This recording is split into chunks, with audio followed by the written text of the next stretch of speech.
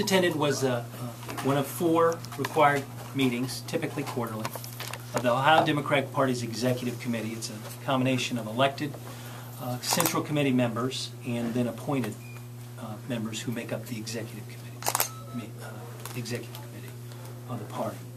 Um, You're all welcome to come back. It's a public meeting, and as you just witnessed, all the votes are public and uh, are voice votes, so stand-up votes, those kinds of things. So we will start with Joe. This is Joe Ellen Ingles. She is a, a a reporter here in Central Ohio. Works for Public radio. Public Radio. So let me ask you the question that was brought up out there. They, uh, some of your fellow Democrats say you didn't vet your gubernatorial candidate well enough. What about it? Do you feel like you vetted him well enough? And is is there any chance that uh, you might decide to take him off the ticket? Uh, We don't typically, for those of you who, this is the first time, I rarely answer Joe directly about such questions. Mark, I always do.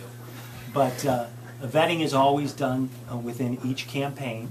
Uh, It's a function of the 99 House candidates, the incumbents, the 33 Senate, as well as the seven, six, seven, depending on the year, and then the federal candidates, statewide federal candidates, congressional candidates.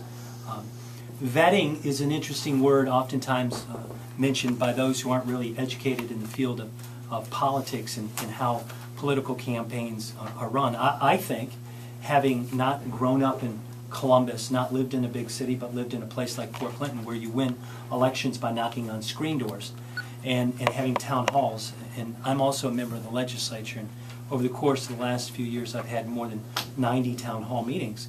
And I can tell you the number of times in the last month at my town hall meetings, my door-to-door, my events, that I've been asked about whether or not Ed FitzGerald had a, a driver's license for some or all or a period of time over 10 years or two years or eight years, 12 years, whatever the period of time is. Here's what I'm asked about. Why Ottawa County is among the highest unemployment rates, has among the highest unemployment rates in the state, and at the, the time when half a million Northwest Ohioans have went without drinking water for four days, uh, why is it that Governor Kasich wants to repeal uh, the Clean Water Act and everything that implies with safe drinking water across not just Northwest Ohio but across the state? I mention this because there are so many more important issues that Ohioans are confronted with. And, and with all due respect, uh, those are the kinds of issues and the solutions to those concerns that we're going to offer and have been offering. We're going to do that for the next 69 days.